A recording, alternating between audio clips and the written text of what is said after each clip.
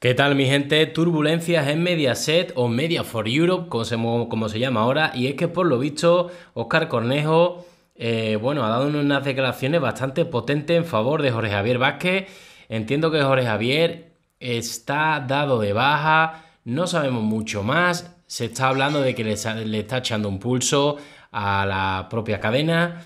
Él está intentando que regrese porque entiende Oscar Cornejo que sin él, eh, Sálvame y todos los programas en los que él participa, el de Luz, mm, bueno, en el eh, en este que se, emitió el viernes en sustitución del de Luz, en la Sálvame Fashion Week, entiende que mientras que él no esté, no va a ser lo mismo, en Superviviente, entonces pues él eh, quiere apostar porque Jorge Javier Vázquez, el tiempo que les quede, que, que siga echando, ¿no? Es una forma también de un poco forzar a Mediaset a ver si les dan algunos programas y a la misma vez de motivar un poco a Jorge Javier a que vuelva, a que regrese, ¿no? Y según declaraciones de Oscar Cornejo, ganas de Jorge, de Adrián, de Paolo, de Alessandro, eh, refiriéndose a Alessandro Salem, y de Mediaset. Evidentemente también tiene que pelotear a Mediaset. Ganas de imperfección, de insolencia, de querer cruzar la línea roja, de tirar la piedra y no esconder la mano. Bueno, eso es muy habitual de tirar la piedra y sí esconder la mano, ¿vale? Pero bueno, aquí pone que, él, que ellos no esconden la mano, mentira. De que me dé igual todo, de dar la cara y gritar, eh, el rey va desnudo, ganas de que me pongan las pilas. Mira, por ejemplo, que el rey va desnudo o cualquier cosa, cualquier chorrada así, eh, eso es lo que gustaba de Sálvame, que no tenían pelos en la lengua pero que mm, no se sobrepasaban las líneas rojas. Una vez que se sobrepasan las líneas rojas, ya ahí la cagaron. Y ahí ya evidentemente pues no, no querían ese tipo de sálvame. Pero cuando decían las cosas como eran, sin pasarse, no había ningún problema.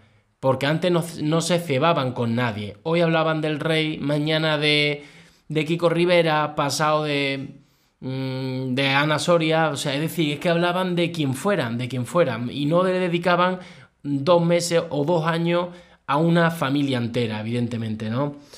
Bueno, eh, este programa es de rojos y maricones, aunque yo no lo piense y seguramente él tampoco.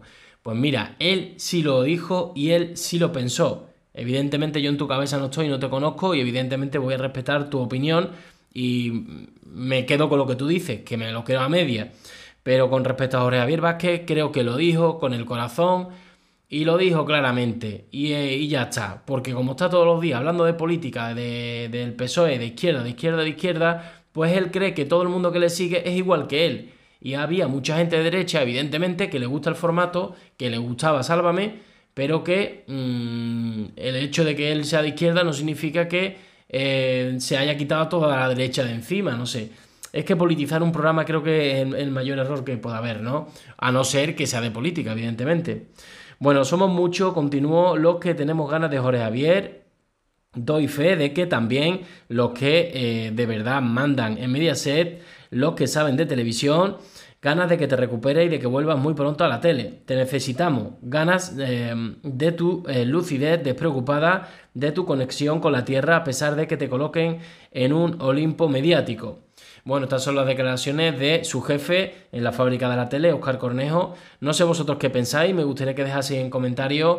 Eh, bueno, este alegato que, que, ha hecho en post del presentador. Y nada, como ya sabéis, nos vemos en el siguiente vídeo con más información. Un saludo.